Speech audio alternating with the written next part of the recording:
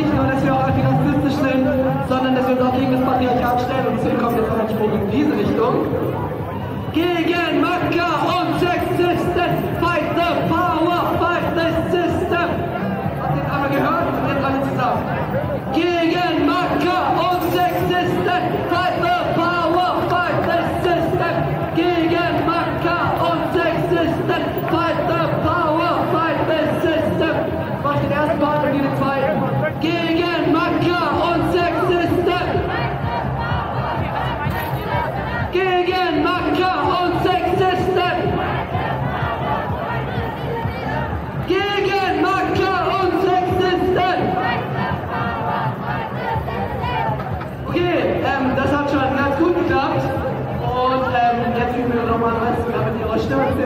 können, mit einem lauteren Spruch, den alle besser kennen und wo ihr vielleicht besser mitziehen könnt, auch wenn der andere sehr, sehr wichtig ist.